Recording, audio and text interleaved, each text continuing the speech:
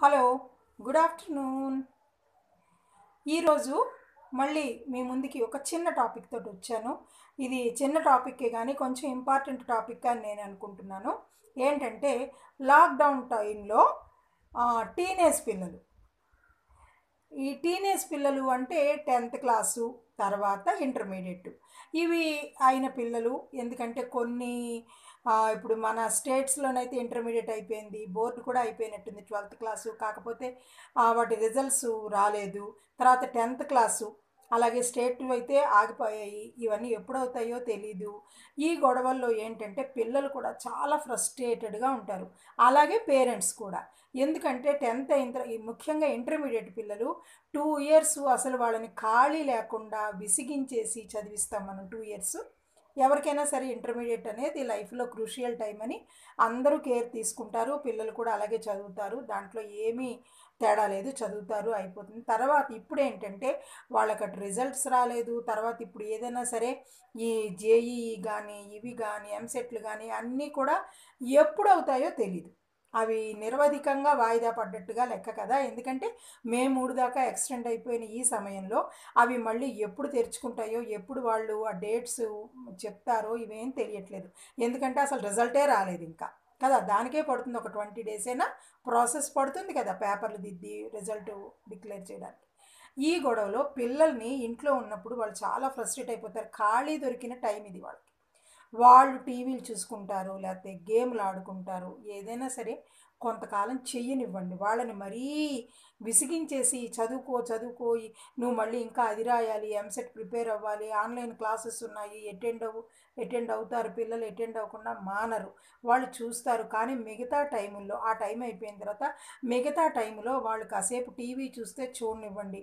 ఆడుకుంటే ఆడుకోనివ్వండి. పాపం బయటికి వెళ్ళి ఆడుకోవడానికి లేదు. వీడియో గేమ్లు ఏదైనా ఆడుకుంటుంటే వాళ్ళు ఏ గేమ్ ఆడుకుంటున్నారో ఒక్కసారి చెక్ చేసి ఆడుకొనివ్వండి. ఇది కూడా కాదంటే వాళ్ళు ఏదైనా నవళ్ళు చదువుకుంటానంటే హ్యాపీగా చదువుకొనివ్వండి. వాళ్ళు కూడా రామాయణమే చూడాలి మనకి టీవీలో వచ్చే రామాయణం చూడాలి భారతం చూడాలి లేకపోతే నేను చెప్పిన పుస్తకాలే చదవాలి ఆ టింకిల్స్ చదవచ్చు కదా ఇంకోటి ఏదో చదవచ్చు కంటే అంటే చదవడమ్మా. ఇంటర్మీడియట్ పిల్లలు అవి చదవరు.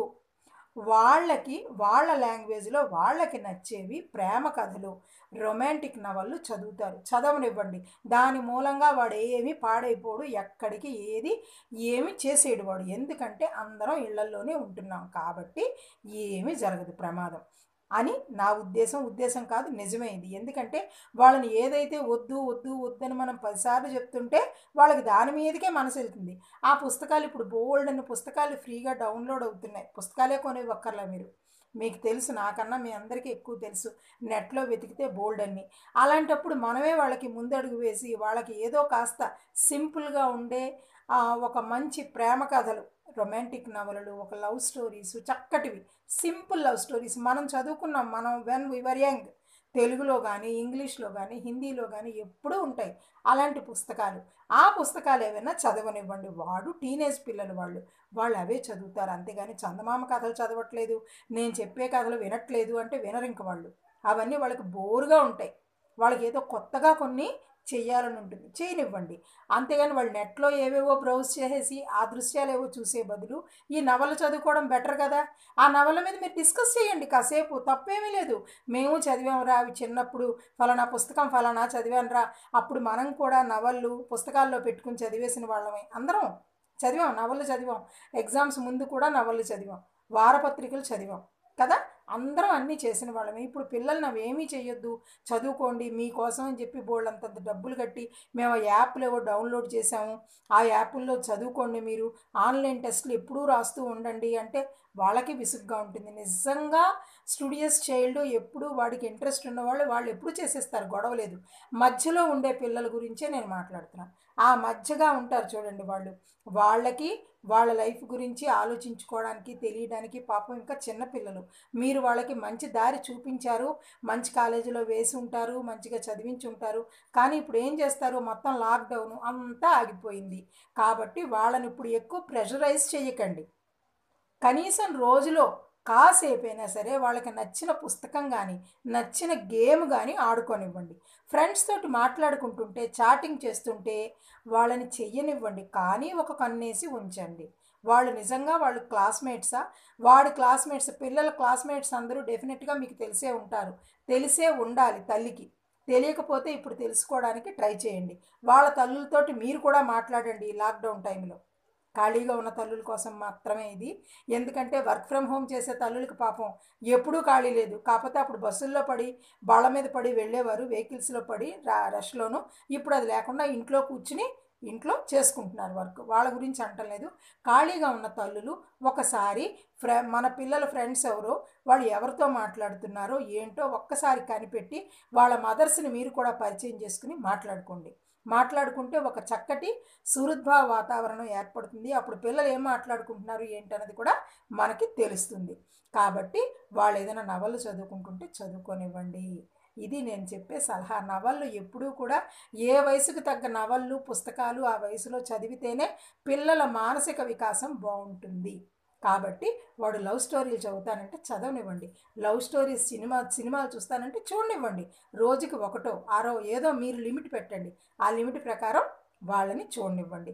ఎక్కువసేపు పడుకోవడం మాత్రం చేయనివ్వకండి. కాస్త పెందరాడే లేపడానికి మామూలు టైంకి లేపడానికి మాత్రమే ట్రై చేయండి. ట్రై చేసి వరండాలను డాబా మీద కాసేపు నడవడానికో లేకపోతే అక్కడే కూర్చొని చదువుకోరా బుక్ అని చెప్పడమో ఏదో అలాంటివి చేయండి. అంతేగాని వాళ్ళని పూర్తిగా మరీ రిస్ట్రిక్ట్ చేసేసి అస్తమాను పైగా కొంతమంది తల్లుల్ని నేను విన్నాను వీడి పరీక్షల దగ్గరికి వచ్చేసరికి ఈ దరిద్రం అంతా వచ్చింది వీడికే వచ్చింది దరిద్రం దీనికే వచ్చింది దరిద్రం ఎంత కష్టపడుతున్నా అవ్వట్లేదు ఇది మొదటి నుంచి ఇంతే ఇలాంటి మాటలు మాత్రం అనొద్దు.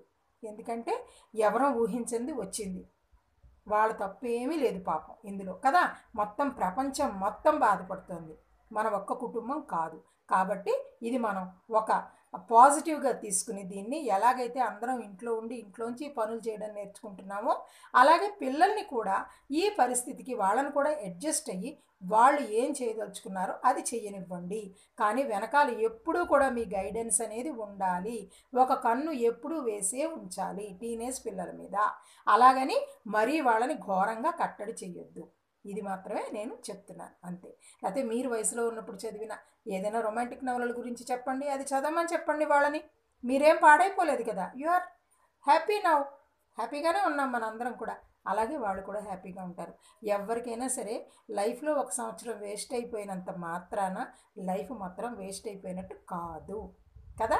పైగా దీనికి కంపెన్సేషన్స్ ఏవో ఒకటి ఉంటాయి. ఎందుకంటే ప్రపంచం మొత్తం అనిపిస్తుంది కాబట్టి డెఫినెట్గా ఏదో ఒక కాంపెన్సేషన్ అనేది అందరం కూడా మనం అన్ని దేశాల వాళ్ళం కూడా చూసుకుంటాం. పిల్లలకి ఎవరు ఏ లోటు రానివ్వరు. పిల్లల చదువు విషయంలో దాంట్లో కాబట్టి. కాబట్టి కొంచెం అర్థం చేసుకోండి. పిల్లల్ని అర్థం చేసుకోండి. అలాగే పిల్లలు కూడా పేరెంట్స్ని అర్థం చేసుకోండి. వాళ్ళు చెప్పిన మాటలు వినడానికి ప్రయత్నించండి.